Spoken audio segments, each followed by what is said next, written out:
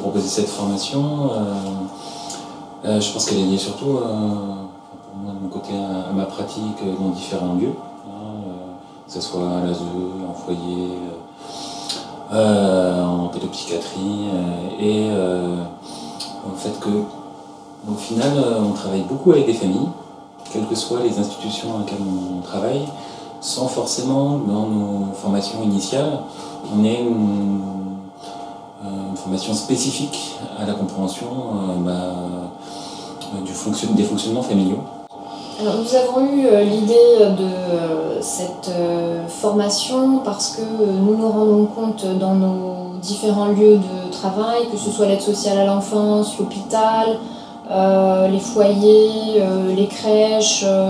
le milieu du handicap, le, scolaire, etc., etc.,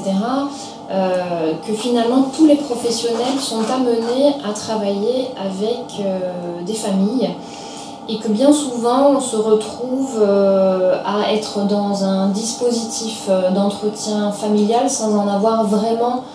pensé les tenants et les aboutissants, c'est-à-dire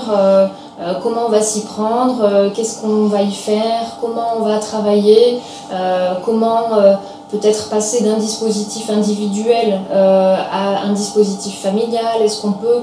travailler à la fois dans l'individuel et le familial en même temps pour une même situation? Et donc, on, a l'impression que notre formation de thérapeute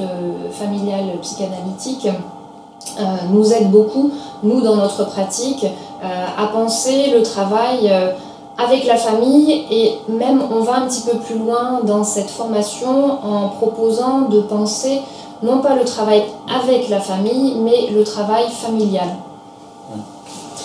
Et l'idée, c'est de permettre en fait aux professionnels peut-être de d'ouvrir euh, un peu à une écoute un peu plus spécifique et donc euh, groupale d'une certaine manière euh, et donc familiale de manière à ouvrir un peu une autre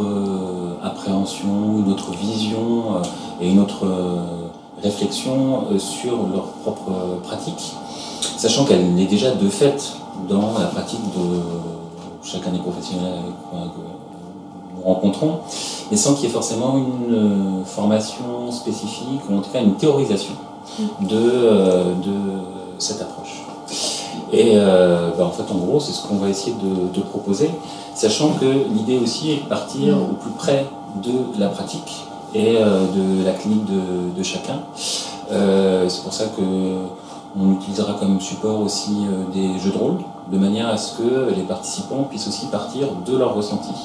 et notamment les inviter à jouer des scènes familiales, de manière à ce qu'on puisse partir vraiment de, euh, à la fois de ce qui peut, des vécus familiaux, mais aussi du lien entre la famille et les institutions. On a pensé que la formation pourrait donc se dérouler en deux modules de trois jours. Euh, d'abord parce qu'il y a beaucoup de choses à aborder, donc c'est potentiellement, euh, ça peut être un peu lourd et un peu indigeste euh, de le faire en une seule euh, donc on a découpé la formation en deux modules qui sont à la fois complémentaires mais qui peuvent être aussi faits l'un indépendamment de l'autre et un peu dans n'importe quel ordre. donc le premier module qui est plutôt sur générationnel. Donc toute la question du transgénérationnel est très axée sur la question de la transmission euh, à travers les générations et aussi à, l'occasion, à cette occasion en fait, d'appréhender les différents modes de transmission euh, en fonction des différentes familles et donc de l'articulation entre la transmission dans les institutions et au sein des familles. Donc tout ce qui est le fonctionnement familial, quels sont les différents types de fonctionnements familiaux qui existent et auxquels on peut être confronté en tant que professionnel. Et puis le deuxième module qui est davantage euh, axé sur, entre guillemets, les ressorts thérapeutiques, si on peut dire ça comme ça, de l'approche euh, familiale euh, en institution, c'est-à-dire qu'est-ce qui pourrait faire dans ces fonctionnements familiaux obstacles au travail, mais aussi euh, ce qui pourrait faire euh, levier, ou en tout cas comment faire que, en sorte que les obstacles se transforment euh, en levier. Et, donc l'idée étant que justement par cet échange entre participants et avec nous formateurs, éventuellement, ça permette d'envisager de nouveaux leviers ou de nouvelles façons d'aborder les obstacles auxquels les uns et les autres nous sommes confrontés avec les familles.